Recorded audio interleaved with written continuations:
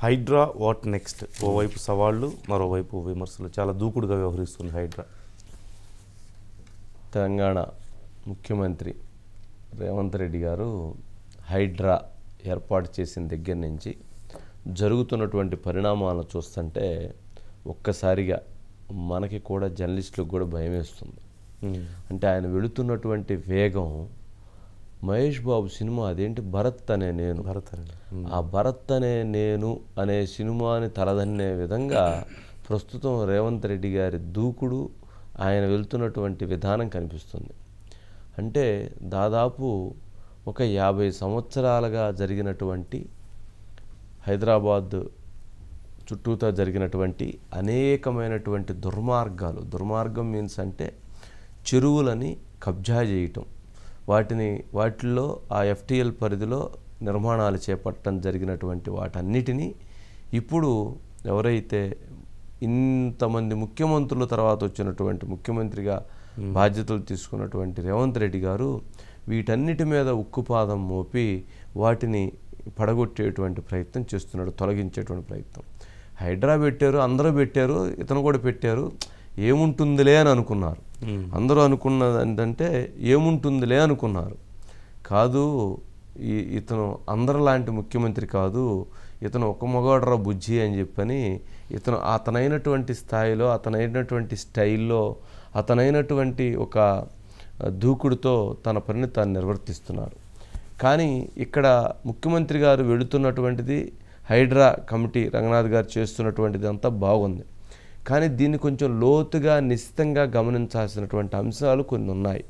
అసలు హైదరాబాద్ ఈ చుట్టుపక్కల ప్రాంతంలో మనకున్నటువంటి సమాచారం ప్రకారంగా నూట ఎనభై ఐదు చెరువులు ఉన్నాయి. ఆ నూట ఎనభై ఐదు చెరువుల్లో ముప్పై ఐదు చెరువుల వరకు almost eighty five percent above వాటిని కబ్జా చేసేసారు. నిర్మాణాలు ప్లాట్లు వేసేసారు అమ్మేశారు కన్స్ట్రక్షన్ జరిగిపోయినాయి. అట్లాగే నూట నాలుగు చెరువుల వరకు fifteen percent twenty percent above occupy అయి ఉన్నాయి. మరి ఇవన్నీ చెరువులు ఆకుపోయినటువంటివి వీటిల్లో నిర్మాణాలు చేసినటువంటి ఎన్ని బిల్డింగులు అని చూస్తే పద్నాలుగు వేల రెండు వందల బిల్డింగులు. పద్నాలుగు వేల రెండు వందల బిల్డింగులు ఈ నూట ఎనభై ఐదు చెరువుల పరిధిలో ఉన్నటువంటి ఎఫ్టీఎల్లో నిర్మాణమైనటువంటి అపార్ట్మెంట్లు విల్లాలు ఈ రకంగా చూస్తా పోతే ఇవన్నీ దాదాపు పద్నాలుగు వేల రెండు వందలు. Hmm. అందులో ఇప్పుడు హైడ్రా కూలగొట్టినటువంటి రెండు వందలు మాత్రమే. ఈ రెండు వందలు కూలగొడితేనే మరి ఇంతమంది ఇంత ఆహాకారాలు చేస్తూ ఉన్నారు. ఇంత పెద్ద సౌండ్ మొదలైనటువంటి పరిస్థితి. మరి ఇంకా మిగిలినటువంటి పద్నాలుగు వేల వాటి నిర్మాణాలని కూలగొడతారా? ఆ పద్నాలుగు వేల నిర్మాణాలను కూలగొట్టడం కూడా సమంజసమేనా? మరి ఆ నిర్మాణాలను కూలగొట్టాలి అని అంటే మరి ప్రభుత్వం ఆ స్థాయిలో దాన్ని ఆ స్టేబుల్గా ఉండగలిగిద్దా? మరి ఇటువంటి అనేకమైనటువంటి ప్రశ్నలు సవాళ్ళు ఇప్పుడు ముఖ్యమంత్రి గారికి ఎదురవుతున్నాయి. ఆ రోజు భరత్ అనే నేను సినిమాలో ఆ రోజు కరప్షన్ మీద వాళ్ళు దాచుకున్నటువంటి డబ్బుల మీద రైట్స్ చేసి పట్టుకోవాలి అని అంటే మరి ఆ ప్రభుత్వంలో ఉన్నటువంటి వాళ్ళే వాళ్ళే తిరుగుబాటు బావుట ఎగరేసేటువంటి పరిస్థితి. మరి ఇప్పుడు ప్రస్తుతం మరి రేవంత్ రెడ్డి గారు కూడా ఇప్పుడు ఏదైతే హైడ్రా ద్వారా ఈ కూల్చివేతల నిర్మాణానికి ముందుకు వెళ్తే మరి ఈ ప్రభుత్వంలో ఉన్నటువంటి వాళ్ళే కొంతమంది మరి తిరుగుబాటు బావుట ఎగరేస్తారా? మరి అనేటువంటిది ఇప్పుడు చాలా పెద్ద చర్చలు అంతర్గతంగా రాజకీయ వర్గాల్లోనే కాదు ఇటు వ్యాపార వర్గాలు అట్లాగే జర్నలిస్టులో కావచ్చు లేదా బిల్డర్స్లో కావచ్చు రియల్ ఎస్టేట్ రంగంలోనే కావచ్చు కామన్ మ్యాన్లో కూడా చాలా విస్తృతమైనటువంటి చర్చ జరుగుతుంది. మరి ఇప్పుడు ముఖ్యమంత్రి గారు ముందున్నటువంటి సవాళ్ళు మరి ఆ సవాళ్ళల్లో ఎంఐఎంకు సంబంధించినటువంటి వాటిని కూలగొట్టాల్సినటువంటి అంశం ఉంది. కాంగ్రెస్ పార్టీ చెందినటువంటి పట్నం మహేందర్ రెడ్డిలో లాంటి వాడు వాళ్ళకి కూలగొట్టాల్సినటువంటి అవసరం ఉంది. అట్లాగే వీటితో పాటు చాలామంది కాంగ్రెస్ పార్టీ కాదు బీఆర్ఎస్ కేటీఆర్ ఫామ్ హౌస్ కావచ్చు లేదా ఇంకోటి కావచ్చు ఇంకోటి కావచ్చు చాలా కూలగొట్టాల్సినటువంటి అవసరం ఉంది. మరి ఈ పద్నాలుగు వేల నిర్మాణాలను కూలగొట్టడం అనేటువంటిది అసాధ్యమైనటువంటి విషయం. మరి అటువంటి అసాధ్యమైనటువంటి విషయంలో కొన్నిటికి ఎగ్జామ్షన్స్ ఇచ్చి కొన్నిటి వరకు కూలగొట్టేటువంటి పరిస్థితి ఉంటుందా? మరి అది సాధ్యం అవుతుంది ఇది చాలా చాలా పెద్ద టాస్క్. మరి ఆయన ఏం చేస్తారు లేదా హైడ్రా ఏం చేస్తుంది అనేది చూడాల్సినటువంటి అంశం. ఇది ఒకవైపు చాలా ప్రాంతాల్లో సామాన్య ప్రజలు ఇల్లు ఇది ఒక వైపు. రెండోది దీంట్లో సామాన్యులు అని లేదు ధనికులు అని లేదు. ఎవరిదైనా ఎవరిదైనా చట్టం చట్టమే. ఇక దీంట్లో మరొక అంశం ఏంటంటే చాలామంది మాట్లాడుతున్నది కొంతమంది ఎవరైతే ఈ బాధితులు పాపం నష్టపోయినటువంటి వాళ్ళు ఎవరైనా వాళ్ళ బాధను మనం అర్థం చేసుకుంటాం. ఖచ్చితంగా ఎవరైతే కూలగొడతారో ద- జరిగిద్దో వాళ్ళు బాధపడతారు. వాళ్ళ ఫీలింగ్ ఏంటంటే వాళ్ళ వ్యక్తం చేస్తున్నటువంటి అభిప్రాయాలు ఏంటంటే దీంట్లో నిశ్చితంగా గమనించినటువంటి అభిప్రాయం. సరే మేము ఆ రోజు కట్టుకుంటున్నప్పుడు మాకు ఆ పర్మిషన్ ఉందన్నారు మమ్మల్ని కట్టుకోమన్నారు వాళ్ళు డబ్బులు తీసుకున్నారు ఆఫీసరు మేము కట్టుకున్నాము. ఇప్పుడు మమ్మల్ని కూలగొడుతున్నారు. సరే మేము కూలగొడుతున్నారు కానీ మరి ఇప్పుడు ఆ అధికారి ఆ పర్మిషన్ ఇచ్చినటువంటి లేదా మా దగ్గర డబ్బులు తీసుకున్నటువంటి అధికారిని ఎందుకు వదిలేస్తున్నారు? ఆ రోజు ఉన్నటువంటి ప్రజాప్రతినిధి మా దగ్గర డబ్బులు తీసుకున్నారు. ఆ ప్రజాప్రతినిధి ఎందుకు వదిలేస్తున్నారు? మరి ఆ రోజు ఉన్నటువంటి మంత్రిని ఆ రోజు ఉన్నటువంటి అధికారిని కూడా ఈ కూల్చివేతల్లో తీసుకొచ్చి వాళ్ళని కూడా ఆ కూల్చివేతలు లోపల పడేయాలి కదా. లోపల పడేయటం మీన్స్ అంటే వాళ్ళని కూడా ఆ రకమైనటువంటి కఠిన చర్యలు తీసుకోవాలి కదా. మరి వాళ్ళ పరిధిలో వాళ్ళు ఉన్నప్పుడు ఆ నిర్మాణాలు జరుగుతున్నప్పుడు మరి వాళ్ళు ఏం చేస్తున్నారు? వాళ్ళు డబ్బులు తీసుకొని వాళ్ళు ఎంకరేజ్ చేశారు కదా.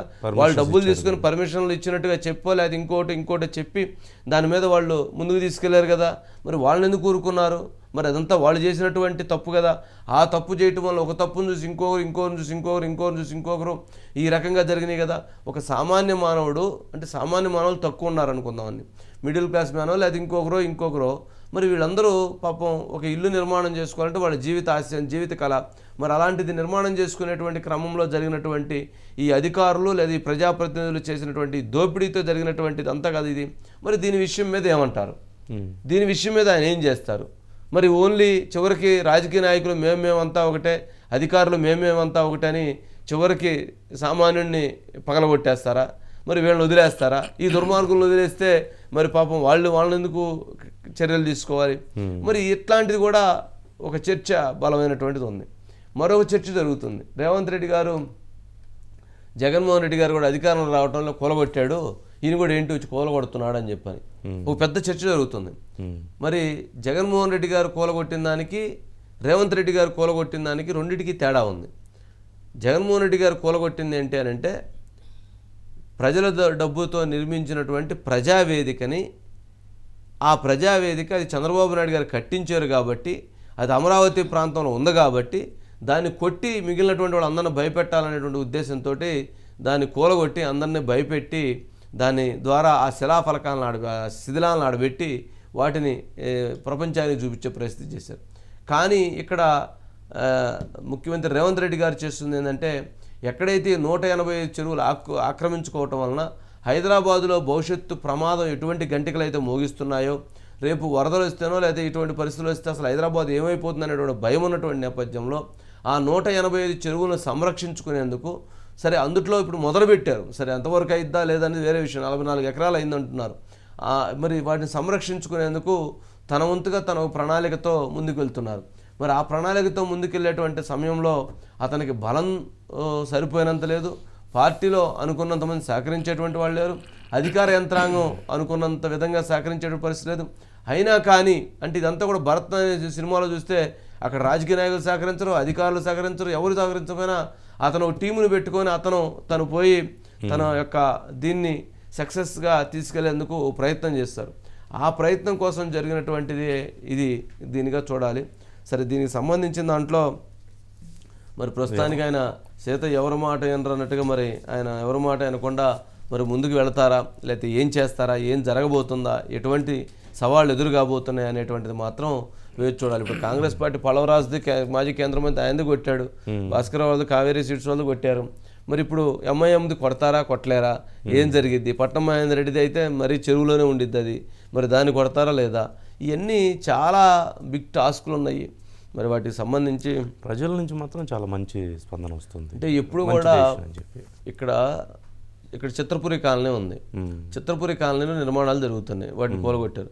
మరి చిత్రపురి కాలనీలో ఇంత జూబ్లీ హిల్స్లో మరి ఇంత నిర్మాణాలు జరుగుతుంటే ఏం గాడిదలు కాశారు అధికారులు. ఆ రోజు ఉన్నటువంటి పొలిటికల్ లీడర్స్ మరి ఏం చేశారు? మరి వాళ్ళందరి సంగతి తేల్చాలి కదా? ఇప్పుడు వీళ్ళు ఇంత తప్పులు చేస్తున్నారంటే ఆ రోజు అధికారులు డబ్బులు తీసుకున్నారు. డబ్బులు తీసుకోకుండా వాళ్ళు ఏం పర్మిషన్లు కట్టుకోమనలేదు ఇప్పుడు త్రిబుల్ వన్ జీవోలో కేసీఆర్ గారు ఏమైనా దాన్ని ఎత్తేద్దాం అన్నారు.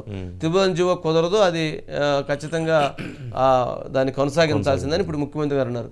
త్రిబుల్ వన్ జీవోలో నాకు తెలిసి చాలా ముప్పై కోట్లు నలభై కోట్లు యాభై కోట్లు కట్టి పెట్టి కట్టిన విల్లాలు. కనీసం ఒక వెయ్యి ఉంటాయి. ఉమ్. చాలా మంది ప్రముఖులు అక్కడ విల్లాలు కట్టారు. యాభై కోట్లు ఒక్కొక్క విల్లా. దాంట్లో ఆయన ఇంటీరియర్ ఖర్చు పదిహేను కోట్లు ఇరవై కోట్లు ఉంటుంది. మరి అలాంటి విల్లాలు ఆడ కట్టుకున్నారు. మరి ఇప్పుడు వాళ్ళందరూ మరి ఆ రోజు ఏ అధికారులు వాళ్ళ పర్మిషన్ ఇస్తే కట్టారు? ఏ అధికారులు డబ్బులు తీసుకున్నారు? వాళ్ళని ఎందుకు వదిలేయాలి? వాళ్ళని కూడా తెచ్చి దీంట్లో పడేయాలి. వాళ్ళ దగ్గర నుంచి వసూలు చేయాలి. అంటే వాళ్ళకు కూడా పనిష్మెంట్ ఉండాలి.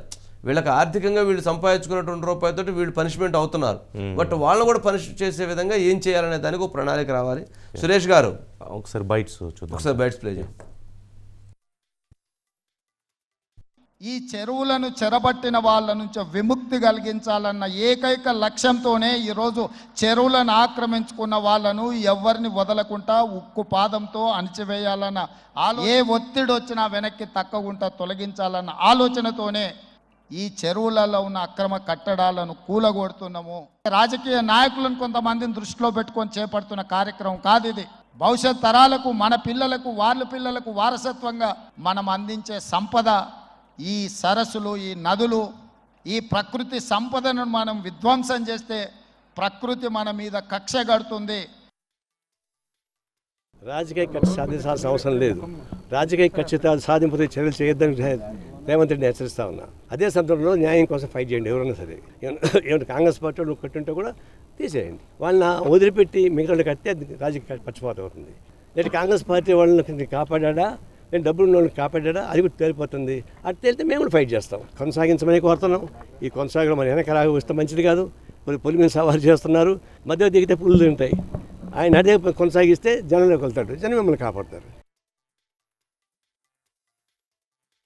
हमारे कॉरपोरेटर्स ने मेयर साहिबा से कमिश्नर के पास जाकर वो जो हाइड्रा बनाया गया है उसको हमने बताया है कि वो उसका कोई लेजिस्लेटिव लीगल बैकिंग नहीं है उसको, वो पब्लिक डोमेन में है। और फिर हमारे एमएलए कौसर साहब जाकर चीफ सेक्रेटरी को भी बोले हैं। और तीसरी बात ये है, जीएचएमसी का जो ऑफ़िस है अभी तो हम लोग जो है, हमारे स्कूल में जब हम लोग बस में जाते थे, मेरे को अच्छी तरह याद है, लिबर्टी से टैंक बन जाती वहाँ पर, जहाँ पर जीएचएमसी का ऑफ़िस है, वहाँ पर एक वाटरफॉल था। मैं देखा सो हूँ। नेकलेस रोड एफटीएल पर है, तोड़ो उसको आप, तोड़ते आप उसको। इमारत का नाम हमने